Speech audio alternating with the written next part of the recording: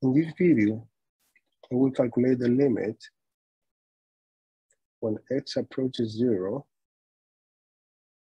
of e to the 6x plus 4x to the power of 2 over x. And I will use the identity in limits, which is limit when x approaches 0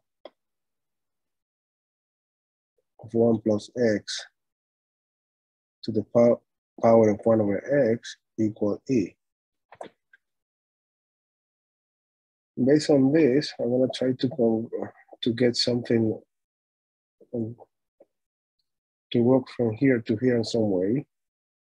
And then I'm going to start the limit when x approaches zero uh, I will factor out the e to the 6x, e to the 6x,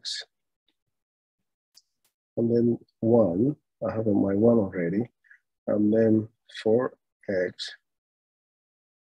over e to the 6x, everything to the power of 2 over x. And then I will separate the limits. I will create something here going back, I'm going to say limit when x approaches zero. Of e to the 6x, everything to the power of 2 over x, times limit. When x approaches zero. Of 1 plus 4 over x over e to the 6x. Um, and we write the inverse, the, the reciprocal, sorry, of this, which is e to the 6x over 4x. And then I'm gonna close everything. And this it the power of 2 but because I have created 6x at the top here, I need to divide by e to the 6x. And because I have a 4 here, to get a 2, I need to, to multiply by 4. Okay, multiply by 4. That's the thing I created.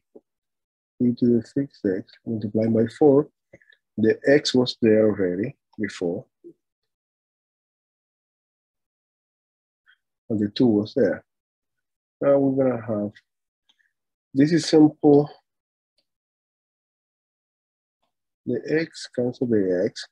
Six and two is 12, and the limit of a number is a number. I'm gonna have e to the 12 here.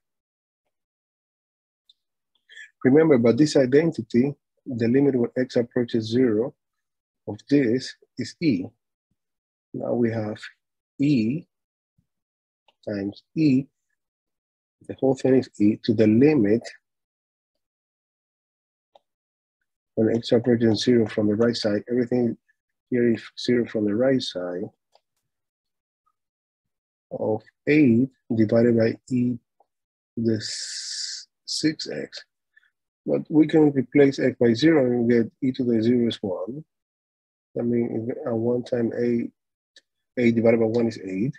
I mean, we're going to have, the answer is going to be e to the 12 times e to the a, which is e to the 12 plus 8, 8, which is e to the 20. And this is the answer of this limit. Thank you.